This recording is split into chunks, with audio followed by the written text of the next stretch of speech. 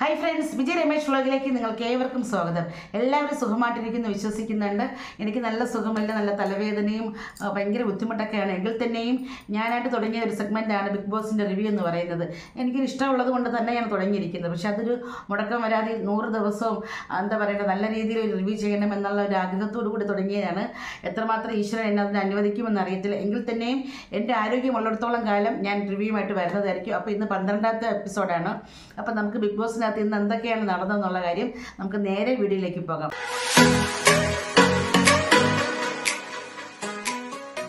ഒരു വെള്ളം പൊന്നും പൂവും കരിനീല ചാന്തും. കുക്കു കുക്കു കുക്കു കുക്കു ആ പാട്ടാണ് ഇന്ന് രാവിലെ മോർണിംഗിനായിട്ട് ഡാൻസ് കളിക്കാൻ ഇട്ട് കൊടുത്തത് കേട്ടോ. അപ്പോൾ എല്ലാവരും കളിക്കുന്നുണ്ട്. പക്ഷെ നമ്മുടെ ജാസ്മിനും ഗബ്രിയും ഒന്നും കളിക്കാൻ വന്നിട്ടില്ല നോറയും വന്നിട്ടില്ല. അങ്ങനെ ജാൻമണി പോയി നമ്മുടെ ജാസ്മിനെ ഒന്നിങ്ങനെ താടിയിലൊക്കെ പിടിച്ചിട്ടൊന്ന് കളിപ്പിക്കുന്നവരൊക്കെ കാണിക്കുന്നുണ്ട്. എന്തായാലും ബാക്കിയുള്ളവരൊക്കെ നല്ല അടിപൊളി അവസാനത്തെ ആ ടൂണുണ്ടല്ലോ അതിലൊക്കെ നന്നായിട്ട് കളിച്ചു റോക്കിയൊക്കെ. പിന്നെ ജിൻഡോയുടെ ഒരു കളിയുണ്ടായിരുന്നു. സ്റ്റെപ്പൊക്കെ ഇട്ട്. കൊള്ളാം നല്ല ഇഷ്ടപ്പെട്ടു.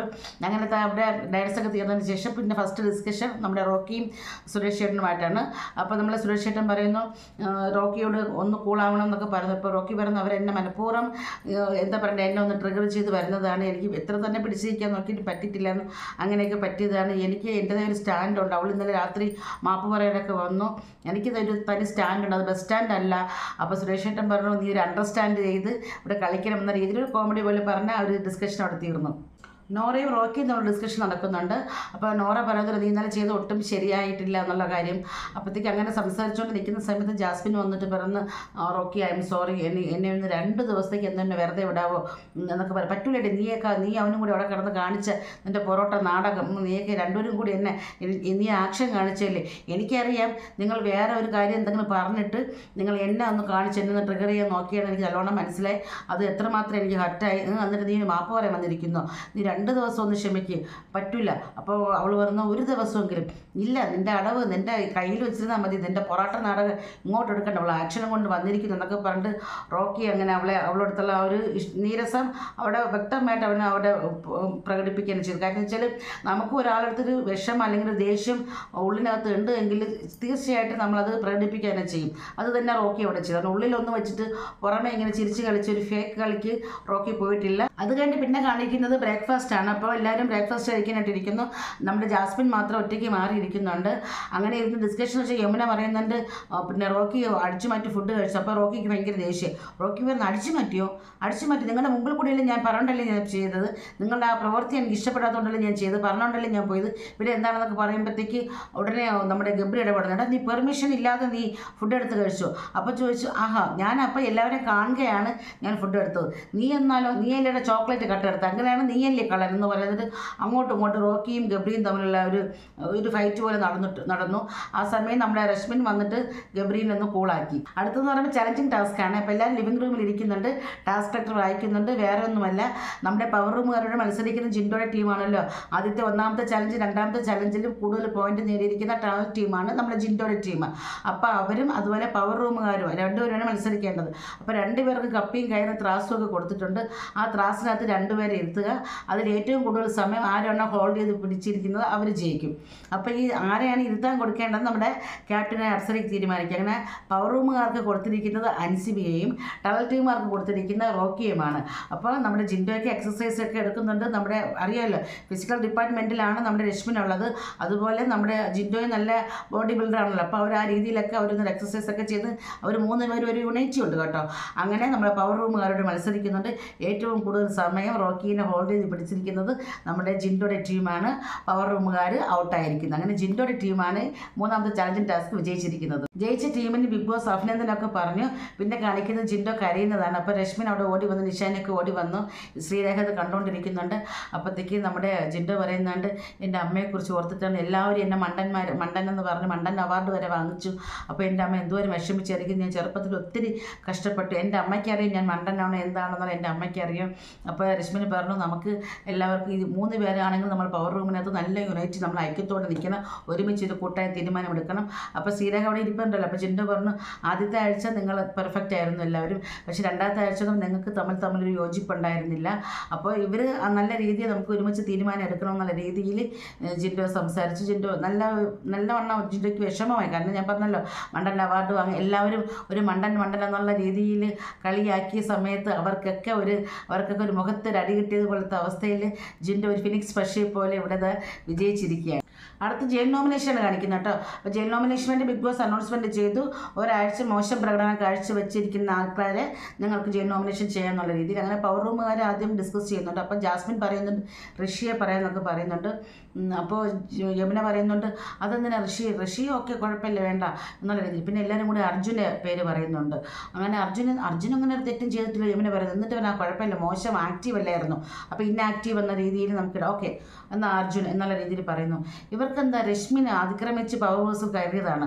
അപ്പം ഇവർക്ക് അത് പറഞ്ഞു ഈ പവർ റൂമിനകത്ത് അതിക്രമിച്ച് കയറിയ വ്യക്തിയാണെന്ന രീതിയിൽ രശ്മിന്റെ പേര് വേണമെങ്കിൽ പവർ റൂമുകാർക്ക് പറയാം. അവരത് പറഞ്ഞിട്ടില്ല. അതുപോലെ തന്നെ റഷ്യ ഋഷി ഓക്കെ ഋഷിയുടെ കാര്യം വെച്ചാൽ ഈ ഒരു നോമിനേഷൻ വന്നു വെച്ചിട്ട് ഓവറായിട്ട് കിടന്ന് കുറച്ച് പ്രശ്നം ഉണ്ടായപ്പോൾ ആ ഒരു പ്രശ്നത്തെ വേണമെങ്കിൽ ചൂണ്ടിക്കാണിക്കാം. പിന്നെ റോക്കി കൈയൊക്കെ ഇടിച്ചിട്ട് അങ്ങനത്തെ പ്രശ്നം വേണമെങ്കിൽ റോക്കിയുടെ പേര് ചൂണ്ടിക്കാണിക്കാം. ഇതൊന്നും ചെയ്യാതെ ആക്റ്റീവ് അല്ല എന്നുള്ള രീതിയിൽ അർജുന്റെ പേര് അവിടെ പറഞ്ഞു. നോമിനേഷൻ നമ്മുടെ അർജുന്റെ പേര് പറഞ്ഞപ്പോൾ അർജുൻ വല്ലാണ്ടായിപ്പോയി കേട്ടോ. അപ്പോൾ അത് ലൈവിൽ കുറേ കാണിച്ചിട്ടുണ്ടായിരുന്നു. എപ്പിസോഡിലൊന്നും കുറച്ചല്ലേ കാണിക്കുള്ളൂ. അപ്പോൾ ഞാനാണെങ്കിൽ എന്നാ ഒരു കാര്യം ചെയ്യാം. ഞാൻ എന്താ അതിക്രമിച്ച് ഫ്രിഡ്ജ് തുറന്നിട്ട് പാലൊക്കെ എടുത്ത് കുടിക്കുന്നു. അങ്ങനത്തെ രംഗങ്ങൾ അപ്പോൾ യമുന പറയുന്നത് മോശമാണ്. നീ നീ നല്ലൊരു കുട്ടിയല്ലേ. നീ അങ്ങനെയൊന്നും ചെയ്യാൻ പാടില്ല എന്നൊക്കെ പറയുന്നുണ്ട്. അങ്ങനെ ഗബ്രി ആയിട്ടുള്ള ഒരു ഇത് വരുന്നുണ്ട്. അപ്പോൾ ഗബ്രി അർജുനെ കുറിച്ച് പറഞ്ഞപ്പോൾ റോക്കി അവിടെ വന്ന് പ്രശ്നം ഉണ്ടാക്കുന്നുണ്ട്. അപ്പോൾ എന്തൊരു ആക്ഷൻ കാണിച്ചു എന്നൊക്കെ പറഞ്ഞിട്ട് ആ രീതിയിലൊക്കെ ഇവർ അതായത് നമ്മുടെ ഗബ്രിയും യമുനയൊക്കെ തമ്മിൽ സംസാരിക്കുന്നതിന് അർജുനെ കുറിച്ചിട്ട്. അർജുൻ വല്ലാണ്ട് ഒരു വിഷമമായിപ്പോയി അർജുനെ ഒട്ടും പ്രതീക്ഷിച്ചില്ല. ഫസ്റ്റ് ക്യാപ്റ്റനായ വ്യക്തി രണ്ടാമത്തെ പ്രാവശ്യം അതായത് ആദ്യം നമ്മൾ ജയിലിൽ പോയ രതീഷും നമ്മുടെ ജിൻഡോയാണ്. ഇപ്പോൾ സെക്കൻഡായിട്ട് പോകാൻ പോകുന്നത് അർജുനാണ്. അപ്പോൾ അർജുൻ അതിന്റെ ഒരു വിഷമം ഉണ്ടായിരുന്നു. ജാൻമണി വന്ന് ശ്രീരേഖ എടുത്ത് പറയുകയാണ്. അത് എല്ലാവരും കൂടി അർജുന്റെ പേരെ പറഞ്ഞ അർജുൻ ഇങ്ങനെ ഇതാ പിന്നെ കിച്ചണിൽ നിന്ന് പാലൊക്കെ എടുത്ത് കുടിച്ചു എന്നൊക്കെ പറഞ്ഞിട്ട് ആക്ഷൻ ആക്കണം എന്നൊക്കെ പറഞ്ഞിട്ട് ഇപ്പോൾ ജയിൽ നോമിനേഷൻ ചെയ്തിട്ട് പിന്നെ ഇനി അടുത്തൊരു ശിക്ഷ എന്നൊക്കെ പറഞ്ഞപ്പോഴത്തേക്ക് ശ്രീരേഖ പറഞ്ഞു എന്തുകൊണ്ട് ഇവിടെ ആരാണ് പവർ റൂമുകാർ നമ്മൾ പെർഫെക്റ്റ് ആണോ? ഇവിടെ ബാഡ്ജ് വരെ ഊരി അങ്ങനെ ഗബ്രി ശ്രീരേഖൻ നമ്മൾ ഡിസ്കഷൻ നീ ബാഡ്ജ് വരെ ഊരി പിന്നെ എന്താണ് നമുക്ക് അർജുനെ ശിക്ഷിക്കാനുള്ള കാര്യം? നീ ആണെങ്കിൽ കഴിഞ്ഞ കിച്ചൺ ടീമിന് ഫുള്ള് അധികാരം കൊടുത്തിട്ട് അവരെല്ലാവരും ഇവിടുന്ന് ഫുഡൊക്കെ എടുത്ത് കഴിച്ചതില്ലേ പിന്നെ ഇപ്പോൾ എന്താണ് അത് അങ്ങനെയാണെങ്കിൽ നമ്മളും അത് പിന്നെ തുല്യം തന്നെയാണ്. അപ്പോൾ ശ്രീരേഖ അതിനെ ശക്തമായിട്ട് എതിർക്കുന്നുണ്ട്. അതായത് അർജുൻ ഈ വീണ്ടും ഈ ഒരു പാൽ കുടിച്ചല്ലോ കട്ട് കട്ടെടുത്ത് കുടിച്ചു എന്നുള്ള രീതിയിൽ ഇവർ വീണ്ടും ഒരു പവർ റൂമിന്റെ ഒരു അധികാരം ഉപയോഗിച്ച് ശിക്ഷ കൊടുക്കണമെന്ന് പറഞ്ഞപ്പോൾ ശ്രീരേഖ അത് എതിർക്ക് എതിർത്തു. അർജുന്റെ ലൈഫ് സ്റ്റോറിയാണ് പിന്നെ കാണിക്കുന്നത്. ഞാൻ അർജുൻ ശ്യാം ഗോപൻ. എന്റെ പേരൻസാണ് എന്റെ സ്വത്തം എന്ന് പറയുന്നത്. എനിക്കൊരു സിസ്റ്ററുണ്ട് അവൾ മാരീഡാണ് പിന്നെ എന്റെ ഒരു ജീവിതം എന്ന് പറയുന്നത് സ്കൂൾ പഠിക്കുന്ന സമയത്തൊക്കെ ഞാൻ ഒത്തിരി നല്ല വണ്ണമുള്ള കുട്ടിയായിരുന്നു. ഭയങ്കര കളിയാക്കലുകൾ ഞാൻ നേരിട്ടിട്ടുണ്ട്.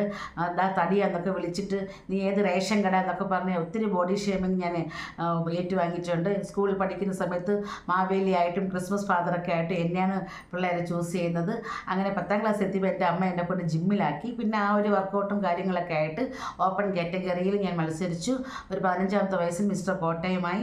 അങ്ങനെ പ്ലസ് ടു ഒക്കെ കഴിഞ്ഞതിന് ശേഷം എനിക്കൊരു അസുഖം വന്നായിരുന്നു. അസുഖം എന്ന് പറയുന്നത് ഒരു ജപ്പാൻ അതായത് ഈ ഹിരാമിസ് ഡിസസ് എന്നുള്ള രീതിയിൽ അത് ഒരു വശം തളർന്നു പോകുന്ന ഒരു അസുഖമായിരുന്നു. വളരെ ഒരു ബുദ്ധിമുട്ടാവുന്ന ഒരു അസുഖമായിരുന്നു. ട്രീറ്റ്മെന്റ് ഇല്ലാത്തൊരവസ്ഥ.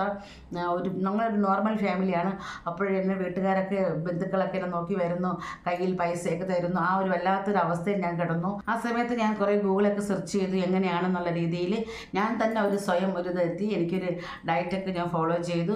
പിന്നെ മാത്രമല്ല ഞാൻ എഴുതുന്ന ആ കൈ കൊണ്ട് എനിക്കൊരു ഫിസിയോതെറാപ്പി എക്സർസൈസ് പോലെ ചെയ്യുന്ന ആ സമയത്ത് ഞാൻ ഓം നമ ശിവായ ഓം നമ ശിവായ പിന്നെ ബിഗ് ബോസ് ബിഗ് ബോസ് ഭയങ്കര ഒരു ഫാനായിരുന്നു ഞാൻ. അങ്ങനെ ഞാൻ എഴുതുന്ന ഒരു സ്വഭാവം ഉണ്ടായിരുന്നു. അങ്ങനെ എനിക്ക് കുറേ ഞാൻ എന്താ പറയുക സഫറിങ് ചെയ്തിട്ട് എനിക്ക് തന്നെ മുന്നോട്ട് വരണമെന്ന് ഓർത്തിട്ട് ഞാൻ മിസ്റ്റർ കേരളയായി. പിന്നെ അത്രയും ഞാൻ ഡയറ്റൊക്കെ ഫോളോ ചെയ്തു.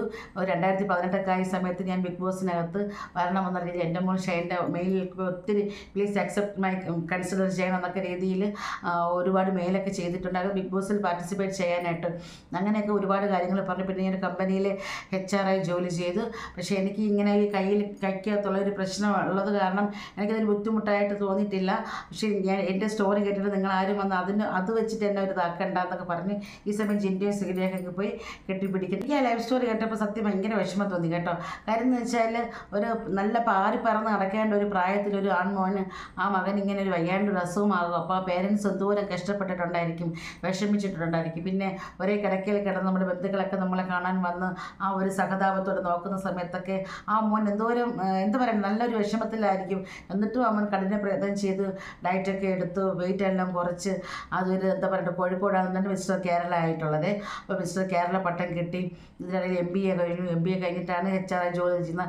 അപ്പോൾ എന്താ പറയണ്ട ഒരു പേഷൻ ഉണ്ടായിരിക്കണം. അത് നമുക്ക് തളർന്നു പോകുമ്പോൾ നമ്മളെല്ലാവരും സൂയിസൈഡിനെ കുറിച്ച് ആ മകൻ ചിന്തിച്ചടയ്ക്കും പക്ഷേ അത് നല്ലവർക്കൊരു മോട്ടിവേഷൻ ആയിട്ട് ഒരു എന്താ പറയുക ഒരു ഉദാഹരണമായിട്ട്. അതായത് ഇതുപോലെ അസുഖമുള്ളവർ അല്ലെങ്കിൽ ഇതുപോലെ പ്രശ്നത്തിന് പ്രതിസന്ധിയിൽ കൂടെ കടന്നു പോകുന്നവർ അവർ സ്വയം നമ്മൾ സ്വയം വിചാരിക്കണം. നമ്മൾ തളരാൻ പാടില്ല. നമുക്കൊരു അവർ നമ്മുടെ അർജുന്റെ ഒരു താങ്ങായിട്ട് പേരൻസ് ഉണ്ടായിരുന്നു. അതുപോലെ ഓരോ മക്കൾക്കും നമ്മുടെ പേരൻസ്മാർ വളരെ ഒരു ഹെൽപ്ഫുൾ ആയിരിക്കണം. അടുത്ത ക്യാപ്റ്റൻസി തിരഞ്ഞെടുപ്പാണ്. അപ്പോൾ എല്ലാവരും നമ്മുടെ വീട്ടിലുള്ള അംഗങ്ങൾ എല്ലാവരും കൂടുതൽ പേരും തിരഞ്ഞെടുത്തിരിക്കുന്നത് സിജോയും റോക്കിയും അൻസിബയാണ് തിരഞ്ഞെടുത്തിരിക്കുന്നത്. അങ്ങനെ ഓരോരുത്തർ ഓരോരുത്തരുടെ പേര് പറഞ്ഞിട്ടുണ്ടായിരുന്നു. നമ്മുടെ റോക്കി നമ്മുടെ ശ്രീധുവിനെയാണ് സെലക്ഷൻ ചെയ്തത് കേട്ടോ. അത് ശരണ്യ ശ്രീധുവിനെ. അപ്പോൾ ശ്രീധുവിനെ കുറിച്ച് പറയുന്നു. ഇവളൊരു മീട്ടാണോ അതോ ബ്ലഡി സീറ്റ്സ് ആണോ? എന്നൊക്കെ രീതിയിൽ റോക്കി പറഞ്ഞു വെച്ചിട്ടുണ്ട് എല്ലാവരും അങ്ങനെ നല്ല രീതിയിൽ തന്നെ പെർഫോം ചെയ്ത് ക്യാപ്റ്റൻസി അങ്ങനെ പറഞ്ഞു. എന്നിട്ട് ശരണ്യയും യമനയും കൂടി ഡിസ്കഷൻ ചെയ്തിട്ടുണ്ട് അതായത് റോക്കിയെ നമ്മുടെ ജിൻഡോയുടെ ടീമാണല്ലോ പവർ ടീം അപ്പോൾ ജിൻഡോയും റോക്കിയും തമ്മിൽ അടിക്കട്ടെ യുദ്ധം എങ്ങനെയാണ് കാണാം എന്നൊക്കെ രീതിയിൽ സംസാരിച്ചിരിക്കുന്നു. അങ്ങനെ എന്തായാലും അൻസിബിയെയും സിജിയോയും റോക്കിയുമാണ് ക്യാപ്റ്റൻസി ടാസ്കിൽ അവരെ തിരഞ്ഞെടുത്തിരിക്കുന്നത്. അപ്പോൾ എന്താ ക്യാപ്റ്റൻസി ടാസ്ക് നാളെ നമുക്ക് കാണാം. റോക്കിയും അർജുൻ നമ്മൾ ഡിസ്കഷൻ ചെയ്യുന്നുണ്ട്. റോക്കി പറയുന്നത് സത്യം പറഞ്ഞാൽ നിന്റെ സ്റ്റോറി കേട്ടിട്ട് ഞാൻ കരഞ്ഞുപോയി അങ്ങനെ ഒരു എന്താ പറയുക ഒരു ഇൻസ്പിറേഷനാണ് അപ്പം അർജുൻ പറയുന്നുണ്ട് എനിക്ക് ഞാനേ ഉള്ളൂ. നമുക്ക് ഓരോരുത്തർക്ക് നമ്മളെ ഉള്ളൂ എന്നുള്ള ഒരു തിരിച്ചറിവ് വരുന്ന സമയത്ത് നമ്മൾ ഓട്ടോമാറ്റിക്കായിട്ട് ഒരു ഉയർത്തി നിൽക്കണം എന്നുള്ള രീതിയിൽ അവർ അവരുടെ ഡിസ്കഷൻ അവിടെ കഴിഞ്ഞു. അതിനുശേഷം ജയിലിലേക്ക് പോകുന്ന രംഗമാണ് കാണുന്നത്. അപ്പോൾ നമ്മുടെ അർജുനെ വന്ന് ജൻ ജാൻമണി കെട്ടിപ്പിടിക്കുന്നുണ്ട്. ജയിലിൽ നമുക്ക് രണ്ടുപേരുണ്ടല്ലോ നമ്മുടെ അർജുനുമുണ്ട് അതുപോലെ നിഷാനയുമുണ്ട് നിഷാനയ്ക്ക് പകരം സത്യം പറഞ്ഞാൽ രശ്മിനെ ഇച്ചിരി കൂടി ആപ്റ്റായിരുന്നു ജയിലിൽ പോകാനായിട്ട് പക്ഷേ ഇവരൊക്കെ ഇങ്ങനെ ആൾക്കാരെ തിരഞ്ഞെടുക്കുന്നതിൽ ഇപ്പോൾ ജയിൽ നോമിനേഷൻ ആയാലും ക്യാപ്റ്റൻസി ആയാലും കുറച്ച് ഈ എന്താ പറയണ്ട നോമിനേഷൻ എവിടെയോ പാളി പോകുന്ന പോലെ എനിക്ക് തോന്നി. എന്തായാലും അവർ ജയിലിലേക്ക് പോയി നമ്മുടെ അർജുനും അതുപോലെ തന്നെ നമ്മുടെ നിഷാനയുമാണ് ജയിലിലേക്ക് പോയിരിക്കുന്നത്. അടുത്തത് ജയിലാണ് കാണിക്കുന്നത്. ജയിലിനകത്ത് നമ്മുടെ ശ്രീതു ഒക്കെ ഉണ്ട്. എല്ലാവരും പുറത്തിരുന്ന് സംസാരിക്കുന്നതിനകത്ത് അർജുനും നിഷാനയുമാണ്. അപ്പോൾ നമ്മുടെ ജയിൽ ടാസ്ക് എന്ന് പറഞ്ഞ ഒരു പനിഷ്മെന്റ് എല്ലാവരുടെയും മറ്റ് കണ്ടസ്റ്റന്റുടെ ഡ്രസ്സ് അയൺ ചെയ്ത് കൊടുക്കുക എന്നുള്ളതാണ്. അങ്ങനെ ഓരോരുത്തരായിട്ട് ഡ്രസ്സ് അയൺ ചെയ്ത് കൊണ്ട് കൊടുക്കുന്നുണ്ട് കൊണ്ട് കൊടുക്കുന്നുണ്ട്. അപ്പോൾ നമ്മുടെ സിജോയും സിജോയുടെ ഒരു മുണ്ട് കൊണ്ട് കൊടുത്ത്. അതിനകത്ത് രണ്ട് ബ്രെഡ് അപ്പോൾ അത് റൂൾസ് ആണ്. അത് ലാലക്കൻ വരുമ്പോൾ എന്തായാലും അത് ചോദിക്കും. അങ്ങനെ സിജോ രണ്ട് കഷ്ണം ബ്രെഡ് കൊടുക്കുന്നുണ്ട്. മറ്റുള്ള കണ്ടസ്റ്റന്റ് എല്ലാം കാണുന്നുണ്ട് കേട്ടോ. കാണാത്തത് കൊടുക്കുന്നത് അപ്പോൾ ശ്രീതു ശ്രീതു ഡ്രസ്സ് കൊടുക്കുന്നുണ്ട്. എടാ ഞാൻ പോട്ടതേ ഇല്ല. ഈ അമ്മ മുത മുതൽ എനിക്ക് ആസയാസയെ വാങ്ങിക്കുന്ന ഡ്രസ്സാണ് എന്നൊക്കെ ശ്രീതു തമിഴിൽ കൊഞ്ചി പറയുന്നുണ്ടെങ്കിൽ നല്ല ഇഷ്ടമായിട്ട് തോന്നി. ഈ സമയം സിജോ ആണെങ്കിൽ ശ്രീതുവിന്റെ ചെരുപ്പ് അടിച്ചു മാറ്റി കൊണ്ടുപോകുന്നുണ്ട്. റഷി ശ്രീതുവിനെ വിളിക്കുന്നുണ്ട്. അങ്ങനെ ശ്രീതു ഒറ്റക്കാൽ ചെരുപ്പ് ഇട്ട് വരുന്നു. അങ്ങനെ രസകരമായ നിമിഷങ്ങളൊക്കെ അവിടെ കടന്നു പോയി. എന്തായാലും ബ്രെഡ് കൊടുത്തത് പണി കിട്ടും സിജോയ്ക്കും അർജുനും. അതൊരു എന്താ പറയേണ്ട ഒരു റൂൾസ് ബ്രേക്ക് ആണ്. പക്ഷേ ഇത് ഗബ്രി കാണുന്നുണ്ട് കേട്ടോ. ഗബ്രി ആ ബ്രെഡിന്റെ ഒരു ഭാഗം കഴിക്കും സിജോ ഞാൻ ഒരു ലക്ഷം ബ്രെഡ് നമ്മുടെ അർജുന് കൊണ്ട് കൊടുത്ത് അർജുൻ അത് അയൺ ബോക്സ് ചൂടാക്കി കൊടുത്ത് സിജോ അത് എല്ലാവർക്കും കൊണ്ട് കൊടുക്കുന്നുണ്ട്. ഇതേ സ്ഥാനത്ത് സിജോയുടെ സ്ഥാനത്ത് റോക്കി ആയിരുന്നുവെങ്കിൽ ഗബ്രിയുടെ അവസ്ഥ എന്തായിരിക്കും? ഞാൻ അത് പറയാൻ കാരണം ഈ ബ്രെഡിന്റെ ഒരു ഭാഗം കൊണ്ട് ഗബ്രിക്കും കൊടുക്കുന്നുണ്ട്. അപ്പോൾ അവിടെ വലിയ ഒരു സൈലന്റ് ആയിട്ട് എപ്പിസോഡിലൊന്നും കാണിക്കാതെ അങ്ങ് പോയി. അത് ഒരു ഇരട്ടത്താപ്പല്ലേന്ന് എനിക്ക് തോന്നിപ്പോയി. കാരണം എന്ന് വെച്ചാൽ പവർ റൂമുകാർക്ക് അതിനുള്ള അങ്ങനെ ചെയ്യാൻ പാടില്ല. അത് റൂൾസ് ബ്രേക്ക് ആണ് എന്ന് അവർക്ക് അറിയാം. അപ്പോൾ അത് സുജോ ചെയ്തപ്പോൾ എന്തുകൊണ്ട് സിജോയ്ക്ക് ലാലിച്ച ലാലേട്ടൻ വരുമ്പോഴത്തേക്ക് സുജോയ്ക്ക് അത് വഴക്ക് കിട്ടട്ടെ എന്ന് വിചാരിച്ചിട്ടാണ് ഗബ്രി? എന്താണെന്ന് അറിയത്തില്ല. എന്തായാലും ലാലേട്ടൻ വരുമ്പോൾ ഇത് ചോദ്യം ചെയ്യുമെന്നാണ് എനിക്ക് തോന്നുന്നത്. എന്തായാലും ചോദ്യം ചെയ്യും. കാരണം ജയിലിൽ കിടക്കുന്ന ഒരാൾക്ക് ഇങ്ങനെ ആവശ്യമില്ലാതെ ഇങ്ങനെ കട്ടെടുത്ത് ഫുഡ് കൊണ്ട് കൊടുക്കാനുള്ള ഒരു ഇതില്ല. ജയിൽ ജയിലിലുള്ളവർക്ക് ജയിലിൽ ഭക്ഷണം പുറത്തുനിന്ന് അവർ കൊടുക്കുന്നുണ്ട്. എന്താവും നമുക്ക് നോക്കി കാണാം. അടുത്ത് നമ്മുടെ ബി ബി പ്ലസ് ആണ്. ബി ബി പ്ലസ് എപ്പോഴും മോർണിംഗ് ആക്ടിവിറ്റി ആക്ടിവിറ്റിയാണ് തുടക്കം. അപ്പോൾ മോർണിംഗ് ആക്ടിവിറ്റി ഇപ്രാവശ്യം അധ്യാപകരെ തിരഞ്ഞെടുത്തിട്ടുണ്ട്. നമ്മുടെ ജിൻഡോ ശരണ്യ അതുപോലെ തന്നെ അർജുൻ പിന്നെ സുരേഷ് ഷെട്ടൻ ഇവരൊക്കെ വന്നിട്ട് മോശം വിദ്യാർത്ഥികൾ തോറ്റ വിദ്യാർത്ഥികളെ ഡിസ്റ്റിങ്ഷനോട് പാസ്സായവരെയും പറയുക എന്നുള്ള രീതിയിലാണ്. അങ്ങനെ അർജുനാണ് ആദ്യം വന്നത്. അർജുൻ കർണൻ ഭഗത് സിംഗ് നെപ്പോളിയൻ അങ്ങനെ ഉണ്ടല്ലോ റോക്കി എന്നുള്ള പേരും കൂട്ടി ചേർത്ത് ഒരു മോശം വിദ്യാർത്ഥി എന്ന രീതിയിൽ റോക്കിയെ സംസാരിക്കുന്നുണ്ട്. പിന്നെ നമ്മുടെ ശരണ്യ വന്നിട്ട് ജിൻഡോനെയാണ് നല്ല കുട്ടിയെന്നൊക്കെ പറയുന്നുണ്ട്. പക്ഷേ നമ്മൾ ജിൻഡോ അധ്യാപകൻ ഏറ്റവും മോശം വിദ്യാർത്ഥിയായിട്ട് ശരണ്യയാണ് കാണിച്ചത്. അത് ലൈവിനകത്ത് ഒത്തിരി ഉണ്ടായിരുന്നു. ശരണ്യ പിന്നെ ജിന്നോട് പറയുകയും നടക്കുന്നുണ്ട്. എന്താ എന്താന്നൊക്കെ പറഞ്ഞിട്ട്. അങ്ങനെ പിന്നെ നമ്മുടെ നിഷാന സുരേഷ് ഇവരൊക്കെ വന്നിട്ട് റോക്കിയെക്കുറിച്ച് പറഞ്ഞു. അങ്ങനെ ഒരു ഒരു മോർണിംഗ് ആക്ടിവിറ്റി അവിടെ നടന്നുപോയി. പക്ഷേ അതിനുശേഷം നമ്മൾ ഈ മോർണിംഗ് ആക്ടിവിറ്റിക്ക് ശേഷം അർജുനും നമ്മുടെ റോക്കി സംസാരിച്ചു. അപ്പോൾ റോക്കിക്ക് ഭയങ്കര വിഷമമേ. പക്ഷെ അർജുൻ പറഞ്ഞു ഞാൻ ആ രീതിയിലല്ല പറഞ്ഞത് എന്നൊക്കെ വിട്ട്. ഇവിടെ കർണനും ഭഗത് സിംഗ് കാര്യം നിനക്കറിയാം. അവരൊക്കെ പോരാളികളായിരുന്നു. റോക്കിയും പോരാളിയാണ്. റോക്കി ഈസ് എ റോക്ക് ജാസ്മിന്റെ ലൈഫ് സ്റ്റോറിയാണ് ഇപ്പം ജാസ്മിൻ പറയുന്നത് ഒമ്പത് വയസ്സ് വരെ ഞാൻ ഒറ്റ മോളായിരുന്നു. പിന്നെ അതിന് ശേഷമാണ് വേറെ മക്കളായത്. അപ്പോൾ ഒമ്പത് വയസ്സ് വരെ ഞാൻ എന്റെ വാപ്പയുടെ അല്ലെങ്കിൽ എന്റെ അത്താന്റെ ഭയങ്കര പെറ്റായിരുന്നു. ഞാൻ സൂപ്പർ ഹീറോ ആണ് എന്റെ. അത് പറഞ്ഞ ഒരു കലിപ്പനാണ് എന്റെ ഡാഡി എന്ന് പറയുന്നത്. പുറത്തിറങ്ങുന്ന സമയത്ത് ആൾക്കാരൊക്കെ എന്റെ അടുത്ത് അത് കലിപ്പന്റെ അല്ലെങ്കിൽ കെ ഡി ജാഫറിന്റെ മോൾ പോകുന്നു എന്നുള്ള രീതിയിൽ എന്നെ സംസാരിക്കും. അങ്ങനെ എന്താ പറയേണ്ടത്? വാപ്പച്ചി ഒരു മദ്യപാനിയല്ല? പക്ഷേ ഭയങ്കര ചീട്ടുകളിയായിരുന്നു അങ്ങനെ പൈസ എത്ര ഉണ്ടാക്കും? അത് ഡയറക്റ്റ് ഇപ്പോൾ മീൻ കച്ചവടമാണ്.